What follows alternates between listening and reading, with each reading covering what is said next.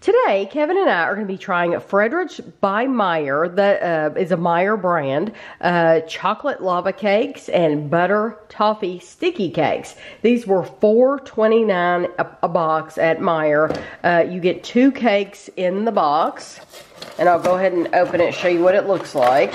There, so there's two individually wrapped cakes per box. So, you can make these in the oven, but it gives microwave directions first and then oven. We're gonna try these in the microwave. So what you wanna do is you want to remove the plastic. Remove the plastic like this. And I'm gonna go ahead and do both of them. If you want to make them in the oven, you preheat your oven to 350 degrees, remove the plastic film, place um, and place the cake in its cup, cake side up on a baking sheet, heat for 14 to 16 minutes. So for us, we're going to, uh, you remove the plastic and you, it tells you to kind of pinch it like this. I guess to Push up from the bottom with Push your up. thumbs. There you like that. Like that. Okay, so it's loose in there. So I did that one. And now you do the same thing with this one, like that. Yeah, See, it's it's loose. Okay, so we're gonna put it in the microwave. You do one cake at a time, and you want to heat on high for 50 to 60 seconds. Kevin will heat them for probably 55 seconds, and then we'll be back. Okay, so these are out of the microwave and we have allowed them to sit for two minutes. And then you want to just flip it over on your plate like this.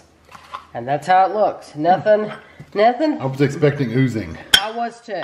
Normally with this kind of cake, you expect it to uh, do some kind of ooey gooey thing. Oh, like That that. did, yeah. Yeah, now that looks really good. The chocolate one looks kind of dry in comparison. Uh, but now Kevin and I will give them a try.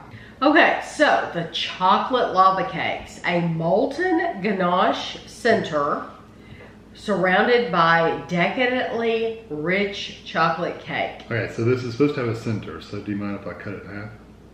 Yes, I do. Don't do that.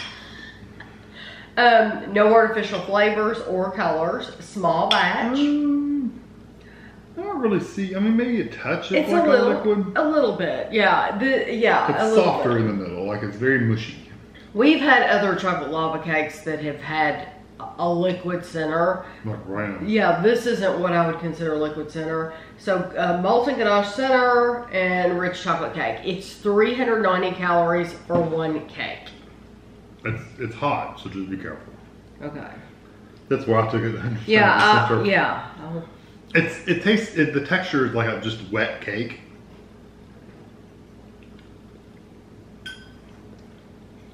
Like all the chocolate sauce or whatever it had in there ganache, uh, kind of like absorbed into the cake while it was in the packaging. It's not bad. It's very dark. It is very dark. It um, In fact, we must clean off. it's it's dark and moist. Um, Not bad if you like a darker chocolate. It um, when when Kevin brought them to me out of the microwave, he said, "Do those stink to you?" I said, "Yes." He said, "They smell like a, a mug cake. Mhm, They do. That tastes like a mug cake." It, it does. It doesn't have that aftertaste. Not quite as much as No. a mug cake, but it does have a little bit of that flavor. It there. does. It reminds you very very much of a mug cake, Mm-hmm. which is not what I would expect in a dessert like this. A pre pre-made. Yes, I would expect this to taste better than a mug cake. Mm-hmm. It doesn't. This this one to me, um, I would not buy this one again. I just think it, it. If I wanted that flavor, I would just buy a chocolate mug cake. Mm-hmm. Um, these do kind of uh, did kind of had that smell Oh, when they, they. smell funky. Uh huh. Both of them did. honestly. Yeah, they did. That one would not tempt me to buy again or eat No. any more of. Um, I mean, like I said, if you if you like a darker chocolate, try it. Maybe it does have the it does have a good texture. I kind of like that.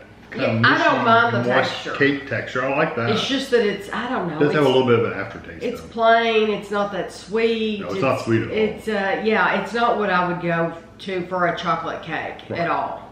Uh, this I'm very excited about this. Uh, butter toffee sticky cakes. Uh, a moist cake filled with dates and topped with a creamy caramel sauce. See, this would typically be in the UK sticky toffee pudding, but they can't put that on that here, or Americans wouldn't buy it because they don't know what they're missing. This is sticky toffee pudding. It, It's very similar. uh, yes, uh, 490 calories for one. Okay. I got. I'm assuming a peel from a date because you can see. Look. See, there's like a piece of date. That's good. That's sticky toffee pudding. Yeah, that's that's a really good flavor. Mm-hmm. Yes. And if you don't like dates and stuff, don't freak out about it because it really doesn't taste like dates. No, you can't taste the dates. If you've never had sticky toffee pudding, it's it's one of my very very favorite British desserts. Very very favorite. You need to try these. Mm-hmm. They have. Um, I'm thinking lots of different brands have these. I'm thinking maybe Kroger has their own set. Um, I'm thinking you can get these though, and other store brands. You need to give them a try because if you haven't, you are really missing out. Um, it's an over-the-top sweet. Um, it's very, very moist. Yeah, it has a little bit of a caramely kind of flavor. Yeah, like Um, sweet caramel. But yeah. it's not like that burnt sugar caramel. It's No. Just a very sweet, sugary caramel. It's just a very, very over-the-top sweet. How would you describe the flavor of the cake though? It, it's got, it's not spice cake, but because it doesn't have the spices in it. But um, I don't know. It's not fruit cake either. It's just, it's kind of, it's different.